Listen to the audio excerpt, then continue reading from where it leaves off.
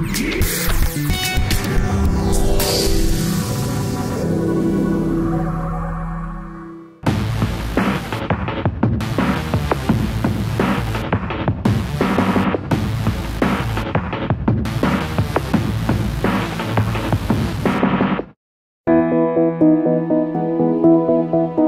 Nina Maritz. I'm an architect in private practice in Namibia. My practice works from a small outbuilding in my garden where we incorporated many of the design principles that we would like clients to use. It's a um, renovated building, so the orientation isn't ideal, but we, we try to adapt it. The office building itself is a um, expanded outbuilding at my um, house, which we try to incorporate a lot of the things that we try and convince clients about. You know, so we put in solar power so that when you say to people, it's a good idea to put solar power in your house, that I can take them out and I can say, this is how it works, these are the problems we've had, these are the, the benefits we've had. Our drawing studio looks out onto the tree canopy and the balconies for private conversations. We've got bird feeders.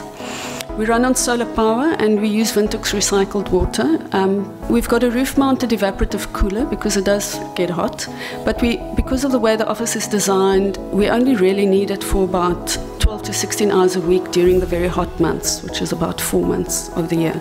I try to focus on sustainable construction, even though it's quite difficult to specialize in such a small country. At AZA, I presented mostly my own work, some of the, the most known projects like some community projects and then some libraries that we did recently. Our most current projects are three regional resource and study centres, libraries.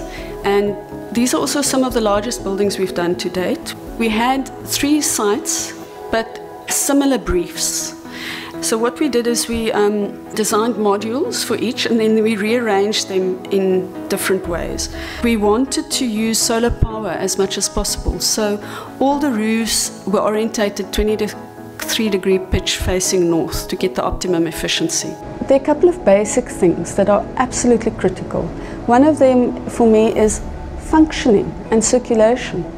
If I get lost in a building, it's a bad building. If people can't do the physical, practical things that they need to do in a building, you know, if you've got lighting that doesn't help, you know, washes out the presentation, or if people need to walk into the office and switch the light on even in the daytime when they're working, that is bad. That's really what architecture is about. Dealing with all those very important questions in a very simple way. So we use passive design principles, like at Makoko, we um, have our short sides facing east and west. Um, um, for the hot arid climate. And we use thermal mass, um, low maintenance durable clay brick walls, concrete structures to temper the extremes of heat. And then we've got north and south facing glazing for lots of daylighting. And then in winter we've got low sun angles that come in at um, north facing windows so we don't use artificial heating at all. We won the competition for the Habitat Research and Development Centre in 2002, which is um, constructed with the intention to create a research um, centre for sustainable housing. It was a competition and we went from the kind of perspective that why build a conventional building when the point of the building is to re do research in alternative and sustainable um, construction technologies.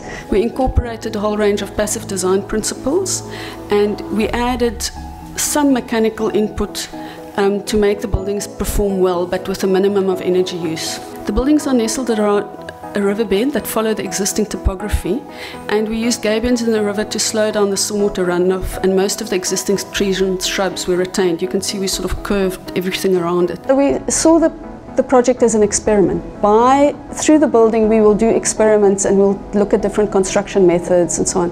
We didn't invent anything new. We learned most of it from people that had experience and looking around. The building's going well, but it's used as a venue for all kinds of training and conference things. The workshops are being used for SMEs and so on. So it's also got flexibility built into it. Advice for young people just starting in the field of architecture. Doing architecture for money is the wrong motivation. You must decide what motivates you. Um, if it's money, become a chartered accountant. I try and do work frugally. You know, whether you're doing a, a big building or small building and so on, frugal is a way of, of reducing the impact on the planet. You know, so we try and look at inventive ways of using inexpensive, local, natural materials.